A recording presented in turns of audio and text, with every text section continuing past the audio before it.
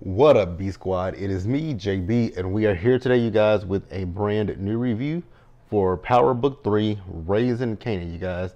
This is season 3, episode number 10, you guys. This episode was titled, let's get to the title of this episode. It was Made You Look, you guys, and eh, did they ever make me look quite a few times in this episode? I was like, oh, y'all got me. Y'all got my black ass. But before we get into it, if you guys are watching this video, or any other video on the channel and you guys aren't subscribed yet, then I need you guys to do me a solid favor and stop taking me out on this date and then having me pay for it at the end of it. You guys know the routine. You can do me that favor by liking the video, subscribing to the channel, and turning on your post notifications, you guys. And with that out of the way, without further ado, let's go ahead and jump into this episode of Raising Kanan, shall we? All right, you guys. So this this season finale, this review it's kind of going to be all over the place, but I'm going to do my best to make it make sense, you guys. So I think where I want to start up with is with Howard, and then we'll work our way around and get to where we need to get to, right? You guys know in the last episode, they were starting to piece what they thought were the puzzle pieces that Howard and Marvin knew each other, right? So we see Howard, he's sitting down with Tanner and he's sitting down with the captain, Captain Batiste, right? And he has his union rep there. So they're asking him if he knows about, you know, asking him about Gerald. He's like, I don't even know who the hell that is, right? And so they're telling him that Gerald was the CI that was working the Marvin Thomas case, but Gerald overdosed, right? And so they're trying to connect the dots there. And I was like, that's not the dots y'all want to connect. Like, that had nothing to do with Howard, unfortunately. And even with y'all trying, if y'all are trying to piece piece things together, y'all were y'all had this man being a CI because of his drug history. And instead of getting the man rehab, y'all were looking at putting the man in jail and away from his daughter. So blame yourselves and not anybody else for the fuck up with that one. Now, back over to it. So Howard said that only thing that he did was he sounded the alarm on Burke. So Captain Batiste told him, well, James Bingham told us that you implicated Burke and you're the one that told him to go to IAD, right? And then they said that you brought him, um, they brought up him putting out the word for Lou. You guys remember last week's episode when Rock was looking for Lou, she went to Howard for help. Remember, Howard put out the word and he was looking for him and those two cops found him. And I was like, I knew last week's episode, I was like, oh, Howard, I think, my friend, that you putting that word out for Lou might end up backfiring and hurting you. But, and it did. It definitely backfired and hurt him. So they, they talked about that. And he couldn't really come up with a, he couldn't really come up with anything for that. But Captain Batiste asked him, okay, give me your gun and give me your shield. You are on limited duties. I was like, ooh, that mean they about to fire you, sir. You might want to go get word with the Lord. So then we see as the feds, they pulled up on Marvin and Marvin was at Gerald's funeral, right? And so the feds were talking to Marvin once basically telling Marvin that he's to blame for what happened to Gerald and all that kind of stuff. And I was like, again, y'all were using him. Y'all were using Gerald, but okay, if that's what y'all want to say, if that's what y'all want to say, if that's what y'all want to say, go for it, right? And Marvin basically told him, fuck you, right? Later in the episode, we also saw the feds as they went to go pay a visit to Lou. And Lou is alive, so Lou is in rehab, you guys, and we'll get to that a little bit later in the episode. But I was so thankful when we saw that in the beginning of the episode. But like I said, I'll get to it in a little bit. But the feds went to Lou and they're questioning Lou. They're asking Lou about, you know, if Marvin has any connection to Howard because they heard that Howard had put the word out to find him. He said, Well, as you can see, he didn't find me. So me and my brother, we don't fuck with the cops, right? He also told him, like, you know, everything that's happened in my life the last six months, I don't remember it because I've been drowning my sorrows. So they also asked him, you know, a place like this costs a lot of money. How'd you get up in here? And he was like, so you all saying that I can't afford a place like this? Mm, yeah, pretty much. And so they're still talking about Crown. You know, he's still putting everything on Crown, but you know, at this point, they don't, they not, they don't, they don't buy that. And until y'all can prove something definitive, then what are we talking about here? Like, y'all gotta skedaddle at this point. And that's what he told him. So then we see Howard, right? So Howard went to his place of worship to pray, and after that, we see him. He went over to Rock's place, right? So when he got over to Rock's place, he's telling her that at this point the jig is up because they're putting two and two together, and they'll be coming after him, her, and Kanan. She was like, "You mean they're gonna be coming after you, right? Because I ain't got nothing to do with this." I was like, "Damn, Raquel." I get where you're coming from. They're coming after you, sir, not me. And so he was like, you know, everything that I've done has been for you and the boy. No one's asked you to do well, technically, yes, she has. I was about to lie and say no one's asked you to do it, but she has. But you have you're uh, able-bodied, a grown grown ass man, and you easily could have told Rock, the shit that you asking me to do, I'm not about to do it, right? But he didn't. So he once again wants to tell her to have Marvin take the fall for this. I was like, Howard, you keep saying this. This woman has told you, I don't know how many times, she's not going to do that to her brother. And I was like, you are setting yourself up for failure, sir. So Howard, like I said, he's really trying to get Rock to flip on Marvin because at one point, Juke and um, Marvin came over to the crib because something happened with Kanan, and we'll get into that in a little bit, right? And so they were talking, and Juke was like, "You want to have this conversation with him here?" She's like, "He ain't nobody." I was like, "Damn." She just said, "You ain't nobody, nigga." So they're telling you know Rock what happened with Kanan, and Rock is pissed, right? So now she wants to set up a you know extra note that's earlier in the review, but we'll get there. We'll get there in a little bit. So let's pause here and move forward, you guys. All right, you guys. So we'll go back to the beginning of the episode. Like I said, this review is going to be kind of all over the place because I want everything to go together cohesively. Now, the episode, we opened up and we saw Lou. So I was looking at Lou. I was like, is Lou in a casket? Please don't say my Lou is in a casket. But he wasn't in a casket because at one point I saw his eyes blink. I was like, oh, thank God he's alive. Or is this a dream sequence? But suffice, suffice it to say, Lou is alive. He's in rehab. He's actually in a therapy session, and Rock is there. And the reason why Rock is there is because of the fact that he wants to talk to her because she is his person. And Rock, on the other hand, she uh, Rock's Rock gives one of those, you know, you know how it is with us black people. Some of us don't believe in therapy, you know, and she's one of those people, right? She doesn't believe she has feelings. I'm like, girl, you absolutely got feelings. Like bitch you're pissed. Like you are angry and and the doctor even called that out. And the more she kept talking the more she was getting pissed off. I was like rock that's an emotion. The thing with rock is she is she's tired of everyone blaming her for things that they do. Lou and howard right because she said it to howard later in the episode she said to howard too that you know all y'all want to do is tell me what what I've done that I'm at fault for this, but then y'all want to come to me and ask me for the answers to how to fix things, which it is true, right? So eventually, Rock, the doctor, and Lou were able to get through to Rock. They had a conversation. So we see as Rock was getting ready to leave, right? And so she's talking to Lou. She's asking Lou, like, hey, like, how much longer they say you have to be here, right? And he says, you know, maybe a few more weeks if they if they think, and it could be longer if they think I'm not ready, right? So Rock apologized to him for some of the, you know, for the things she's done and said to him. I'm like, you definitely owe him an apology. I own you, nigga. Like when she told that nigga that last season, I own you, nigga. Like, I do believe Rock loves her family.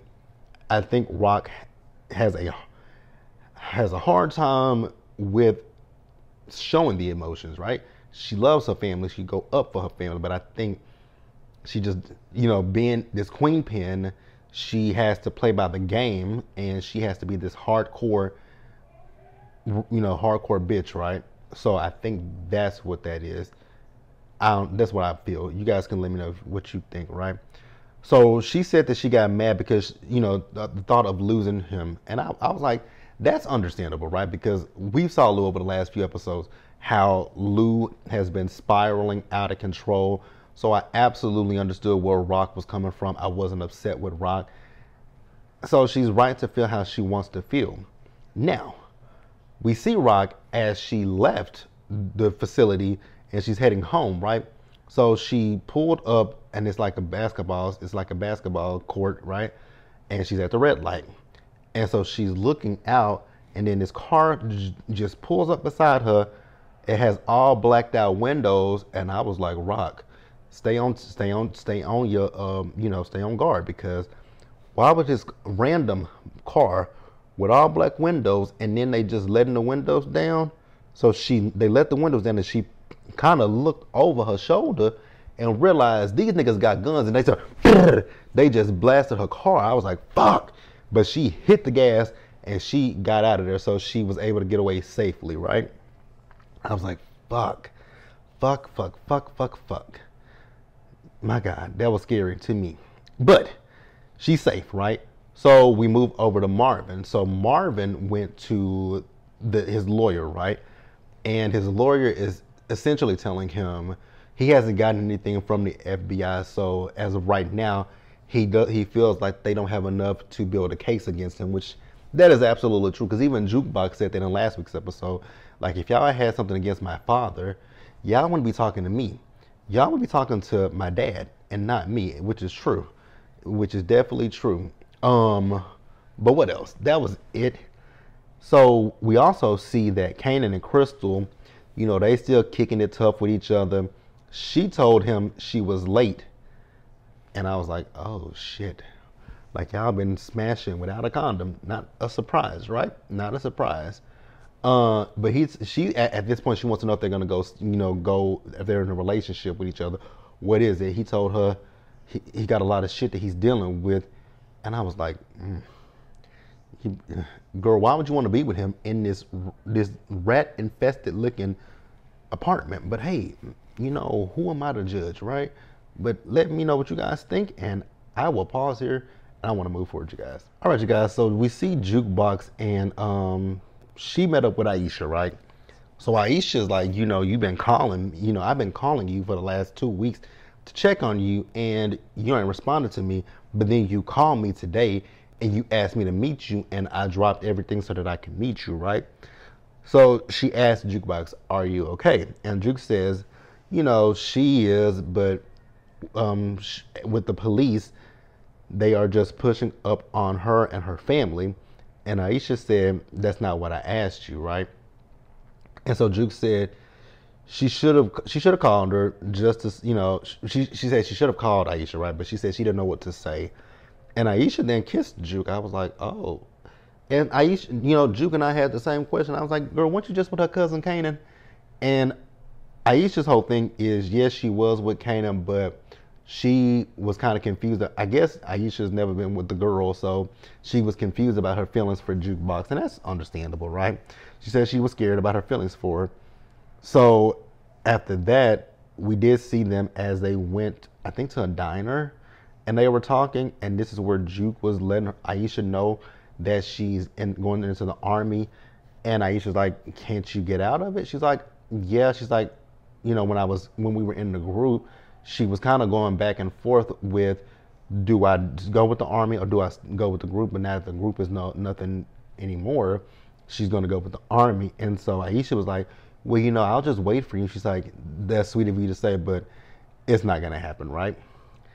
And so after that, Juke is talking about the fact of her family, like she needs to get away because the shit with her family is going to continue to follow her as long as she's there. And I was like, damn, uh, it's interesting because, like I said before, plenty of times in the original Power, we know that Juke was a police officer, a crooked one at that.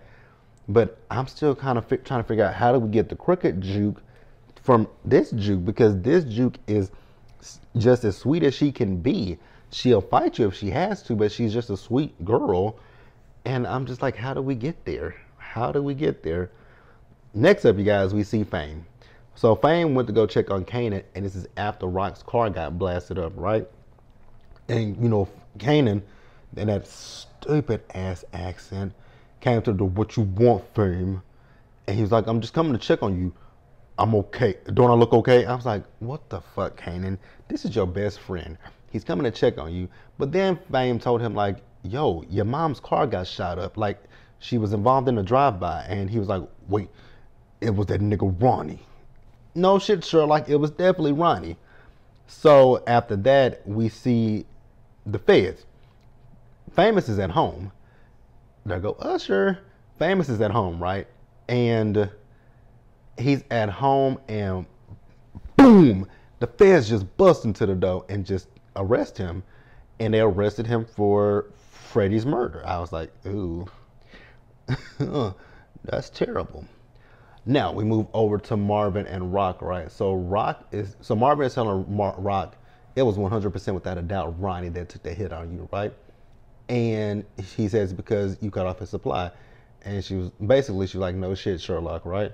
So Marvin told her, but he's working with Kanan, and I don't think that Kanan would do that. And Rock was like, you never know what people will do, and I was like, that is true, but I would want to believe that Kanan. Well, the Kanan that we know, he would the Kanan we all know from the original Power, he absolutely would have gone after Rock, right? Because we know what he did. I mean, we remember what he did to Sean, him unliving his own child. So if he could do that to his own son, what would he do to his mother, the woman that gave birth to him, right? So at this point, Rock wants to have a sit down with everybody before because she doesn't want this to turn into a war. She wants to get she wants to nip it in the bud and have a conversation before we get to war. I was like, on paper that sounds good, but we're dealing with the black Michael Myers, and I don't think he's not a reasonable person. I mean, we saw what we saw what he did to. Like, I don't know if that's gonna work, Rock, but if that's what you want to do, do it, right? So she sent Marvin to go have a meetup with Snaps and Pop, right? And we'll talk about that in a little bit too, right? So next up, you guys, we get Jukebox. So Juke and Kanan, you know, they walking down the street, and this is where Juke is telling Kanan that you know she is going to be going to the army. He's like, "Is that what you want to do, Juke?" And she was like, "Yeah." And so he's like, "You know, I'm I'm gonna be buried here on the south side." Well, you weren't wrong about that, nigga, because you definitely are buried somewhere near south side, right? You're definitely there. So hell, so is she. Unfortunately, right? So he did tell her that he had nothing to do with what happened to Rock. I was like, Rock? Ain't that your mama, nigga? And then he said it was Ronnie. And so while they're talking, a van pulled up and a, ga- and a gang of niggas hopped out with, you know, the guns pointed at Juke and Kanan. And they they took Kanan and put Kanan in the back of the truck and they, they scurried off, right?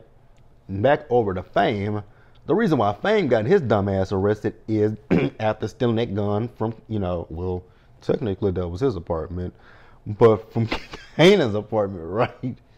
So his mama found a gun. She turned the gun in. They did a ballistic report on the gun, and this is the same gun that took Freddie out. I was like, Fame, you have got to be the stupidest motherfucker.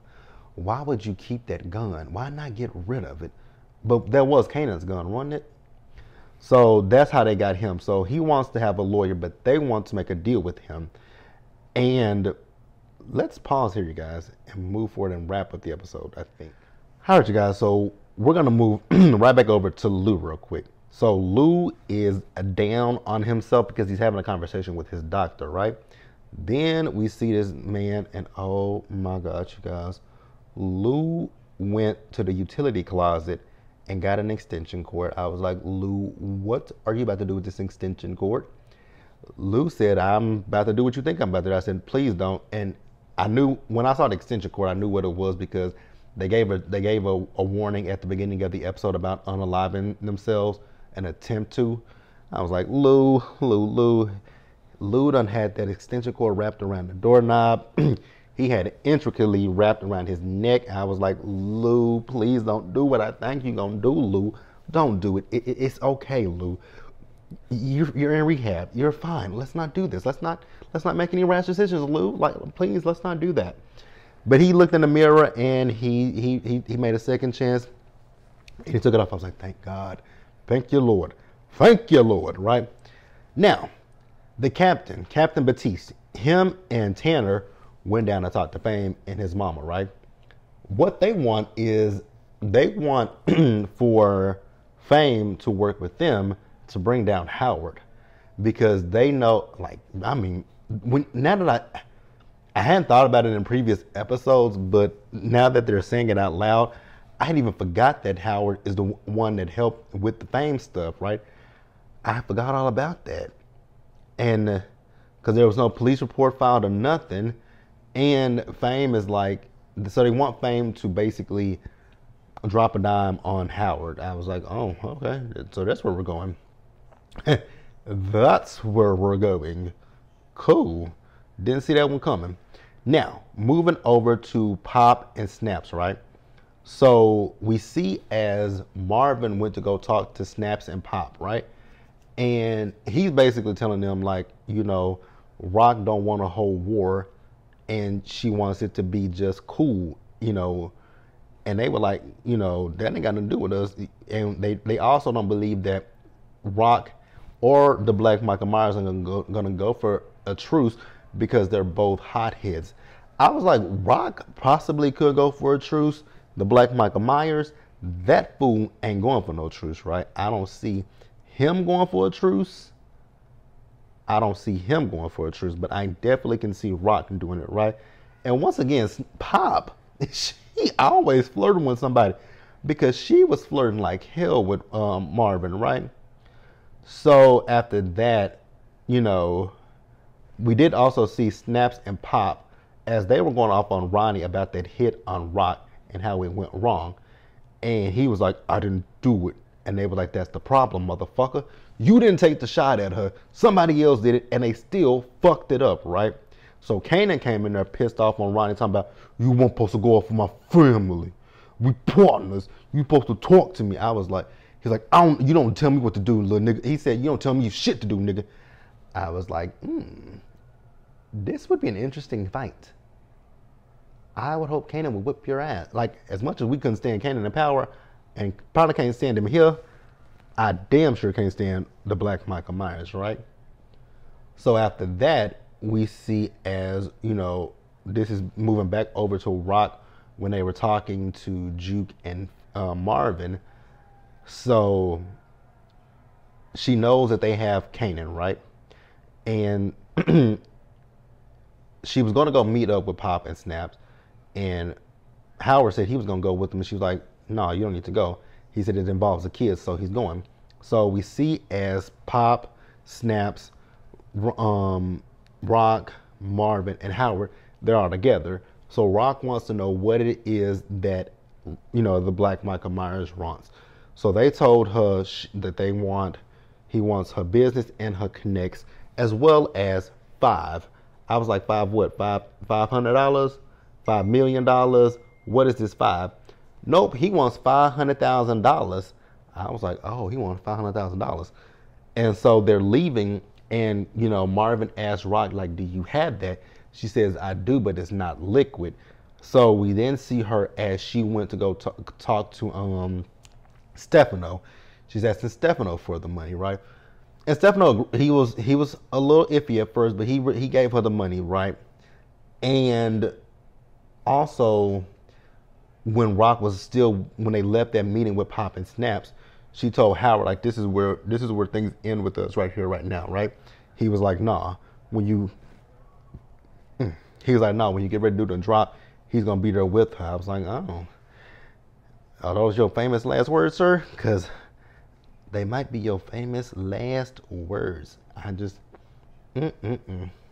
But yeah, he wanted to be there when um, they do the drop. I was like, good luck with that one, sir. Good luck with that. oh, you guys, this episode, when I tell you guys, this was a pretty, like I said, it was a pretty good episode. Pretty, pretty good episode. So after that, like I said, she got the $500,000, right? And we saw her as they went to go to this drop. And so it was interesting because when, when they did the drop, I was kind of confused. This is this is why when I said earlier in the, in the episode, made you look, bitch. They definitely made me look in this episode because I was so confused. I was like, what am I watching here? Like, what is going on? What is going on here? So we we get to the drop right, and you know, Rock and Howard went in there, and when they went in there, the guys they searched them, make sure they had no guns on them, and they let them in. So they go in there where Ronnie is. Ronnie got a gun pointed at them, he, and he was saying to Howard, "I wouldn't let a cop. I would not have let a cop in here, but the kid told me who you are to him." I was like, "So Kanan told you that that's his, like." If Ronnie makes it out of this alive, he can run that back to snaps and pop. But okay, Kanan, why would you do that? I was so confused, right? So after that, Rock has the money, right? She has it in a big, huge duffel bag, and she gives him the duffel bag. And you know, Ronnie was like, my whole thing was, I just want your business in the connects. It was your kid over here, because he was. She was like, give me my son back, Ronnie. He was like, that ain't, he ain't mine to give. I was like, he ain't yours to give, but you're holding him hostage. So he thought. So we thought at that time, right? He said, I just want your business in the connects the kid wanted the, the money. I was like, I know you fucking lying. But again, remember, like I just said a few minutes earlier in the review, that the Kanan that we knew from the original Power is ruthless, right? He he took out Sean, his own son. So that's not a shock to us, right? So I was like, I was like, God damn, is he finna hurt his mama? Hurt your daddy. We don't care about your your daddy is expendable. Your mama, we need her. We love your mama. We love your mama you know, ixnay your daddy, ixnay your pops, ixnay your pops, right? So Ronnie is bent down in the bag looking at the money, and Kanan is behind him, and he just pop. I was like, yes, yes, yes, yes. I was just so happy when he, he when Ronnie got popped. I was like, yes, about damn time. I was so nervous. Ugh, Ice Spice sorry, you guys. I'm looking. So you guys know the, the Super Bowl is about to start in about an hour, right? I'm, and I saw Jay Z, Blue Ivy, and I think that was Rumi. But yeah, um, getting all off track, right? But yeah, I was like, I was like, thank God, because I really was thinking that we were going to have to go into season four of Ronnie. I was like, I don't want to do another season of Ronnie. I really, truly don't. I don't want to do another season of Ronnie. So we're not gonna do another season of Ronnie. Ronnie is deceased. Thank you, Jesus, right? So then Rock took Ronnie's gun and she put it, she pointed it at um, Howard. I was like, Howard, you dumb fool, because you done said this, because actually I forgot to mention something. So when they left that meeting with Snaps and Pops, on top of him saying that he was going to go with her to the drop, he's also talking about there has to be sacrifices, and he's talking about the sacrifice is her brother. I was like, you are a dumb fool. Baby, them kids, you can't tell that them kids got any bit of black in them anywhere. Mm, mm, mm. yeah, never mind. Getting off track again, but um, what were we talking? What was I talking about? What was I talking about? Was, oh, so Rock had the gun pointed on, on Howard, right? I was like, you've done this to yourself. You mentioned to her now three different times to flip on her brother she would rather she's gonna flip on you before she flips on her family, right? Even though you keep talking about y'all a family, y'all really ain't family. The only thing that y'all got in common, only familiar ties y'all have is the fact that y'all are Kanan's parents. That is it. That is all, right? So after that, he's like, see, look how your mother doing me. And Rock said, boom. I was like, well, damn. I didn't see that one coming. Kind of did, but kind of didn't. I was like, well, you know, it is what it is. And Kanan was just sitting there looking at her like, I can't believe you did that. I was like, I can't believe she did that. And I'm glad she did that, right? So sorry to you, Howard. You, definitely helped out in a clutch. But um, like I said, you were expendable. You definitely were expendable, sir.